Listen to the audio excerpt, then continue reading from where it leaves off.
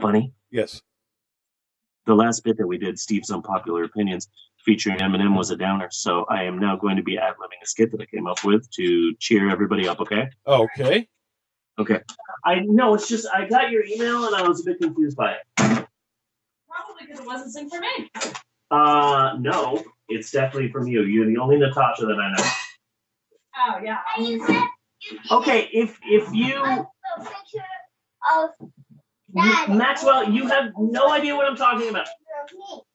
If if you want to pretend you didn't write the email because I'm on the podcast, that's fine. I don't know what you're talking about, but go ahead. Well, I got the email right here. It, uh, hold on, it's right here. Uh, hello, I am Natasha. I am sexy American girl that wants to be with you. I am sexy American girl. Exactly. See, you said it. So I am Natasha. I am sexy American girl that wants to be with you. Do you want to be with me, big boy? Click this link to see my pictures. I didn't click the link because I know I have your pictures and you're a beautiful woman. But I just, I I guess what I'm saying is, it meant a lot to me that you you you want me so much that you sent this email. Thank you. I guess is what I'm saying.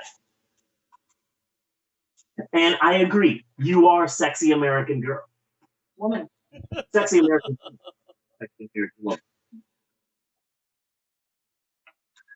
Okay. Okay. I also want to say that um, I came up with this idea two weeks ago and ran it by Emerald, and she thought it was cute as hell. Aw.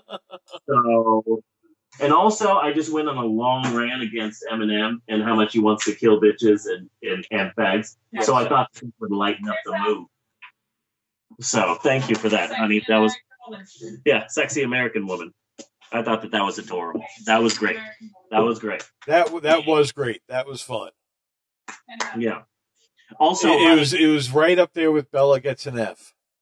yeah, Bela gets an F. Bela gets an F. Yeah. went that one Love that. No, no, it, from before it was a really good one.